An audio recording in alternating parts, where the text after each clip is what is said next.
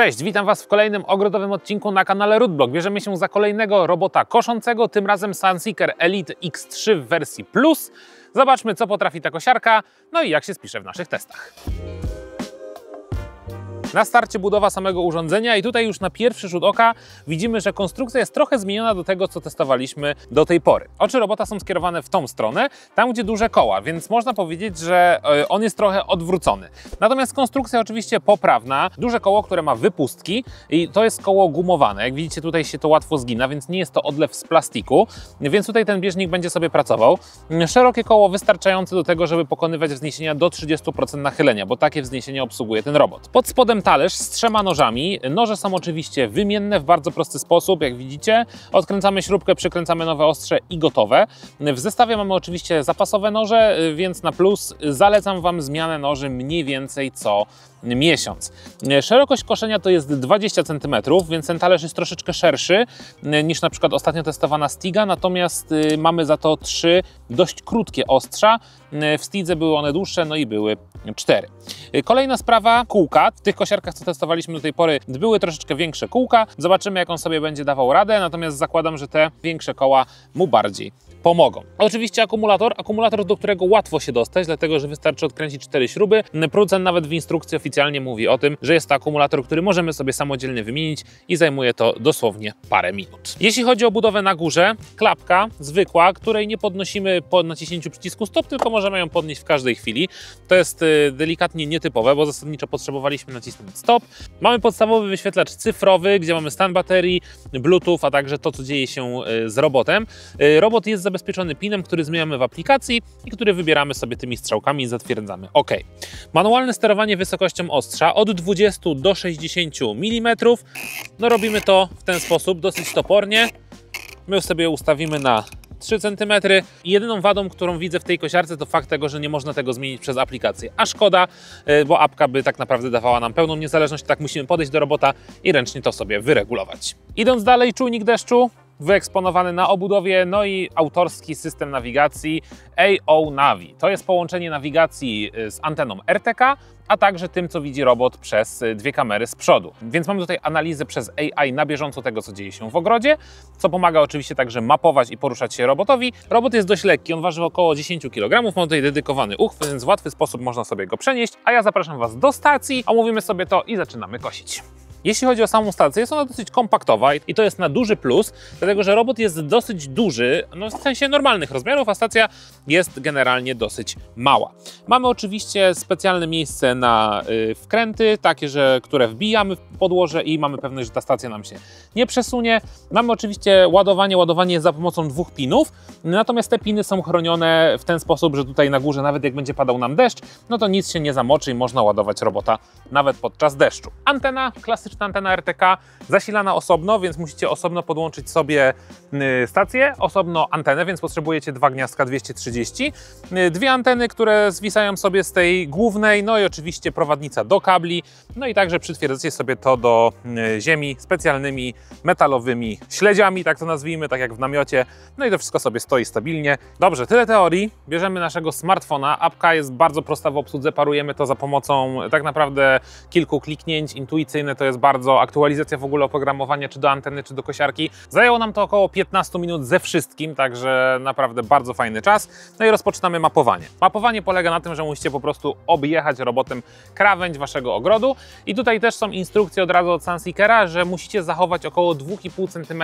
odstępu od krawędzi, więc nie jest tak jak w innych robotach, żeby jechać przy krawędzi, tylko żeby zachować ten minimalny odstęp. Zobaczymy jak to się sprawdzi, rozpoczynam mapowanie i lecimy z tematem. Mamy oczywiście wyjaśnione na czym polega mapowanie i tak dalej, więc to sobie przechodzimy przez ten tutorial. I zaczynamy. Sprawdzenie robota. Trzy zielone, a właściwie siedem zielonych. No i co, teraz wyznaczymy mu strefę pracy, za chwilę rozpocznie ćwiczenia ze zdalnego sterowania, dzięki którym szybko nauczy się sterować ruchami robota. To też jest fajne, że najpierw nauczą Was nim jeździć, a nie żebyście później robili krzywą strefę, także rozpoczynam naukę. Aby zapoznać się ze sposobem postępuj zgodnie z instrukcją. Dobra. Rozpocznij naukę. A, wyjechał żwawo. Podążaj za robotem i steruj nim zdalnie tak, aby ścieżka zamknęła się i utworzyła strefę pracy. Zobaczcie, przód jego to tam, gdzie ma oczy, e, czyli tam, gdzie są duże koła, to jest dosyć nietypowe rozwiązanie, a tył to tam, gdzie są koła mniejsze. Dosyć intuicyjnie się steruje, jedzie prosto. Niektóre roboty mają z tym problem, trzeba je korygować, a on naprawdę sobie fajnie daje radę. Bardzo łatwo się nim steruje, to jest na duży plus. Staram się zachować te 2,5 cm, o których mówili w poradniku i mapujemy ogród w przeciwnym kierunku do wskazówek zegara. Taka też była sugestia w instrukcji. Bardzo zwrotny jest, jak na te małe koła, to naprawdę minimalny ruch i on już od razu skręca, fajnie, duże zaskoczenie. Inaczej zupełnie niż e, inne roboty, które do tej pory mapowaliśmy, które przez większe koła miały troszeczkę większe odchyły, a on jest dosyć precyzyjny, fajnie. Oczywiście nasze drzewko, no robot ma oczy, więc myślę, że tutaj problemu z przeszkodami nie będzie. Oczywiście nie mapujemy tego jako strefę no zone, dopiero później zobaczymy jak robot zareaguje i będziemy poprawiać mapę. Robimy to zupełnie umyślnie, oczywiście jak Wy będziecie mapować swój ogród, to wiadomo, że sobie tą strefę zaznaczycie na starcie. My chcemy sprawdzić, jak działają te wszystkie funkcje AI i jak działa rozpoznawanie przeszkód. Całkiem żwawo się porusza, fajnie. Zaraz będziemy zamykać granice. Oczywiście pamiętajcie też, że przed y, rozpoczęciem pracy z takim robotem musicie skosić trawnik i musicie mieć trawę maksymalnie o wysokości 8 cm. To nie jest robot do koszenia pola, to jest robot do utrzymania trawnika, który już jest wstępnie przygotowany. Zakończ. Gratulacje, ukończyłeś naukę mapowania. Jeśli chcesz użyć tej mapy, możesz wybrać opcję zapisz albo zmapować jeszcze raz. No myślę, że użyjemy. Nie ma sensu drugi raz. No, można dodawać oczywiście strefy. Według instrukcji jest to do 6 stref. Według zapewnień producenta bez limitu. To sobie jeszcze sprawdzimy. No i mamy zonę A. Yy, dobra, możemy sobie dodać oczywiście drugą mapę, możemy sobie dodać ścieżki, no ale na chwilę obecną my nie mamy takiej potrzeby. Czy potwierdzasz ukończenie wszystkich stref? Potwierdzam. No i standardowo stacja ładowania znajduje się poza strefą pracy, więc trzeba zrobić korytarz, który umożliwi powrót do stacji ładowania. Zatwierdzamy, korytarz został sam utworzony i to jest na duży plus, dlatego że zwykle te roboty każą nam utworzyć ten korytarz, a on sobie sam tutaj zapytał mnie, czy ta ścieżka najkrótsza mu pasuje. Potwierdzam, jest super. Więc powrót do stacji prosimy. Wyszło nam 257 m2, więc podobnie tak jak Stiga ostatnio obliczyła. Co ciekawe, inne roboty liczyły tutaj okolice 300-350 m2. Wyciągamy średnią, załóżmy, że tu jest 300. Ok, robot w stacji ładowania po sparowaniu mamy oczywiście możliwość zarządzania naszym urządzeniem i preferencjami. Mamy oczywiście możliwość ustawienia harmonogramu, mamy możliwość zarządzania mapą, mamy możliwość ustawienia prędkości koszenia. My polecimy na standard, zobaczymy jak e, będzie szybko kosił ten robot, możemy to jeszcze przyspieszyć lub zwolnić. Mamy odstęp między koszeniem, czyli odległość cięcia, by zoptymalizować efekt koszenia. E, czy mają być to wąskie szlaczki, czy ma być to bardziej szerokie, e, więc tu możemy sobie oczywiście dostosować. Ja lecę na standardzie. Kierunek koszenia zostawiamy domyślnie, natomiast mamy możliwość wybrania kierunku losowego, wtedy kosiarka będzie sama sobie go dobierała po to, żeby nie wyrobić tych samych pasów na trawie. Możemy także ustawić kąt niestandardowy, wtedy sami zarządzamy e, kierunkiem koszenia. Mamy ustawienia parametrów strefy, więc możemy wtedy, dla każdej ze stref możemy wtedy wybrać konkretne ustawienia. No i oczywiście kolejność krawędzi, czy najpierw robot ma kosić większy obszar, a później krawędzie, czy odwrotnie, my oczywiście dajemy najpierw koszenie i tutaj też możemy zmienić czułość AI, czy ma być niskie, czy wysokie. I tutaj robot ostrzega, że przy wysokiej czułości wtedy naprawdę jest bardzo ostrożny, a przy niskiej czułości może się zdarzyć to, że on po prostu tej krawędzi podjedzie i czasami y, nawet większe źdźbło trawy skosi. E, dodatkowo e, mamy jeszcze unikanie przeszkód, możemy dać to bez dotyku, wtedy omijamy totalnie przeszkody, albo powolny dotyk. No i tutaj też jest to wyjaśnione, że wtedy na przykład e, no, jakąś rabatkę może nam naruszyć. Oczywiście my bez dotyku, no i opóźnienie po deszczu, czyli klasyk, poza tym, że oczywiście czujnik deszczu decyduje o tym, kiedy robot powróci do bazy, to możemy dać informację, że po kilku godzinach dopiero może wznowić koszenie, kiedy po prostu trawa wyschnie. Tyle jeśli chodzi o ustawienia. Zaczynamy koszenie, wszystkie ustawienia domyślne, strefa wyznaczona, lecimy z tematem. Generalnie na starcie ten robot wygląda na taki naprawdę żwawy, więc zobaczymy jak będzie sobie radził. Ostrza ruszyły i widzę, że strategia jest taka, żeby kosić dłuższe pasy i prawdopodobnie dokładnie w ten sposób zacznie się koszenie. I zobaczcie, że dla niego zwykle te właśnie koła, które są w kosiarkach tylne, to dla niego są przednie. On jakby jedzie odwrócony. No to oczywiście kwestia e, psychologiczna, no bo znaczenia to większego nie ma. E, najważniejsze, że widzi to, co dzieje się przed nim. Przypominam, nasze drzewko bez ustawionej strefy no specjalnie po to, żeby sprawdzić, jak działa AI, czy ominie, czy sobie poradzi. E, no i co? A my jest, mamy z głowy, myślę, że przynajmniej godzinkę, bo tyle mm, powinno to zająć. Na mapie widzimy w tej chwili obszar, który został już skoszony. Mm, Robot łączy się przez y, Wi-Fi y, i aktualizuje te swoje pozycje, więc no w tej chwili w głębi ogrodu ma ten sygnał dosyć słaby, y, więc jego pozycja zastygła przy stacji, natomiast widzimy tą niebieską kreskę, która pokazuje już skoszony obszar. No, Mamy oczywiście podany czas koszenia, mamy także procent postępu koszenia. No i co, zobaczymy jak mu będzie szło. Na razie zapowiada się obiecująco. Dynamiczne ruchy, fajna traska, słychać, że kosi, daliśmy mu dosyć nisko ostrze, więc słychać, widać, że zresztą jak ta trawa leci po boku.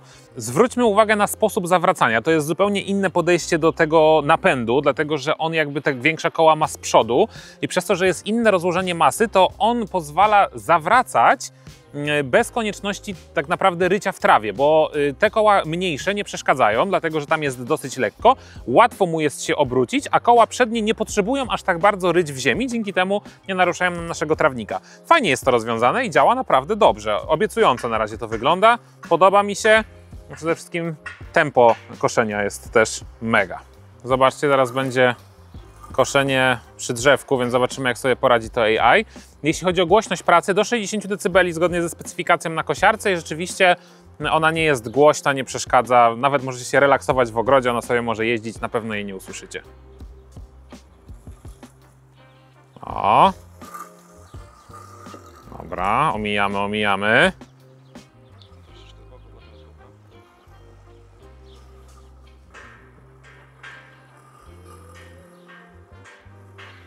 Zobaczcie, zachowawczo, bezpiecznie, widzi, że tam coś się dzieje, więc od razu cofa, zawraca. No na razie omijanie przeszkód zapowiada się nieźle. Zobaczymy, czy w ogóle wpadnie w ten dołek z korą. No już nie, już wie, że tam jest, nie, nie wjeżdżamy, już jest y, zachowanie dystansu, już nie ma dojazdu do tego, więc automatycznie zapobiega też wpadnięciu do tego dołka z korą. Zakładam, że te koła mogłyby sobie poradzić z tym, ale nie musiałyby i mogłaby kosiarka utknąć. A tak, zobaczcie, już jest zachowawczo, nie ma opcji, żeby ona tam wpadła. Zobaczymy, jak sobie poradzi z objechaniem w takim razie tego drzewka. Już na mapie zresztą widać, jak fajnie się zaczyna pojawiać to kółeczko, jak ona sobie ją objeżdża. Oj, wpadło jedno kółko, ale poradziła sobie. Zobaczymy, czy teraz nie wpadną dwa kółka. Uwaga, walczy, walczy, a jednak. Niemniej pamiętajcie, że my nie ustawiliśmy jej strefy wykluczenia i sprawdzamy samo jej AI. Jeśli zaznaczylibyśmy wcześniej nasze drzewko, kosiarka nie napotkałaby takiej przeszkody i by się nie zaklinowała. A zobacz, że ona od razu y, po tym jak wpada, wyłącza ostrza. Żeby nie było, y, że sobie je stępi albo zniszczy talerz, także to też jest spoko. Wróciliśmy, można że powiedzieć, na autostradę, bo teraz będziemy długie boki sobie jechali. Na razie miłe zaskoczenie, fajne zachowanie z przeszkodami. Ona sobie tutaj zostawiła tą strefę za drzewkiem z drugiej strony. Zobaczymy, czy będzie o niej pamiętała. Natomiast w tej chwili kosiarka będzie jechała wzdłuż całej działki, no i chwilę jej pewnie zejdzie.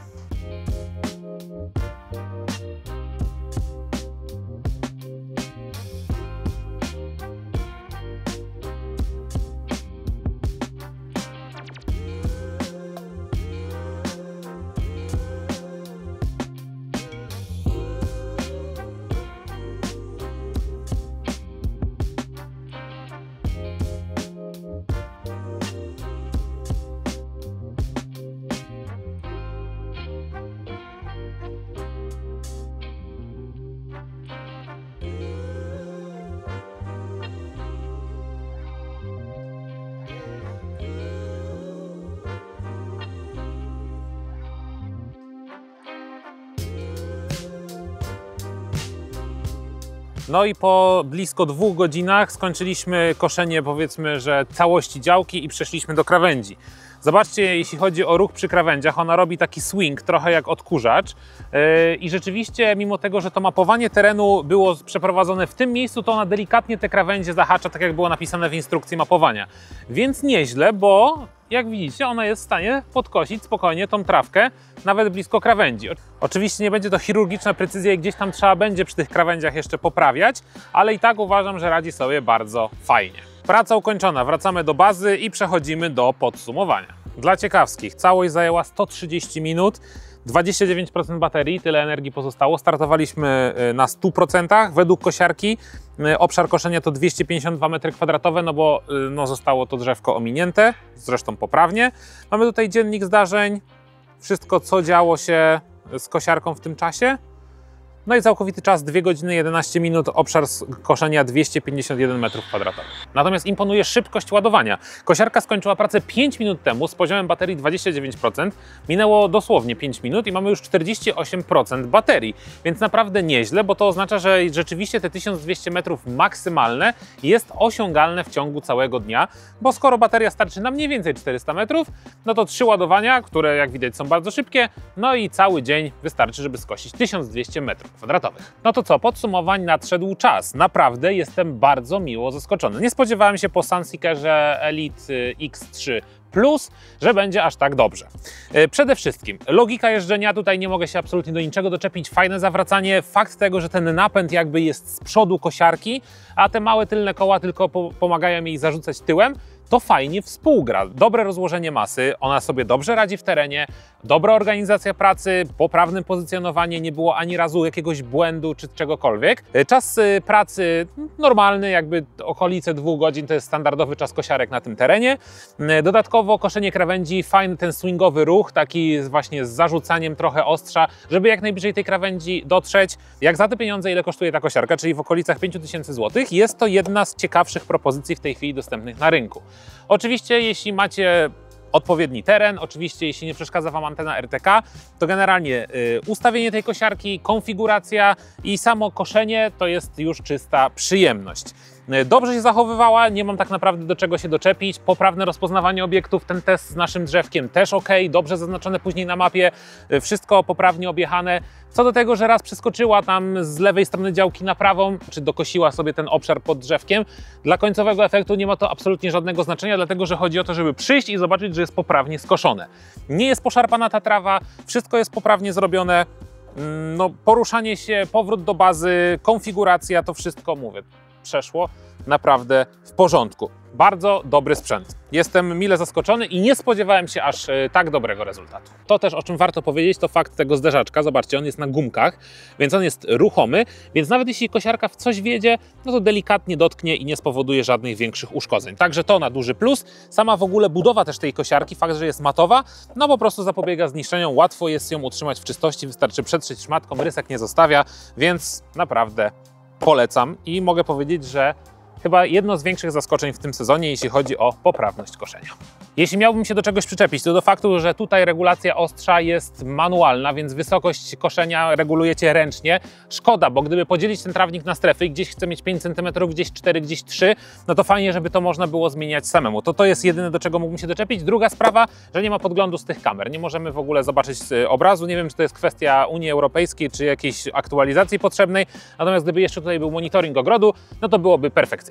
Dziękuję Wam bardzo za oglądanie tego filmu. Oczywiście zapraszam Was do innych filmów o kosiarkach. Testujemy je na tym samym terenie, na tych samych zasadach, po to, żebyście mogli sobie porównywać, e, no i wybrać najlepszą dla siebie. Oczywiście sekcja komentarzy jest dla Was, a my widzimy się już niedługo w kolejnym materiale na kanale Rootblock. Czołem!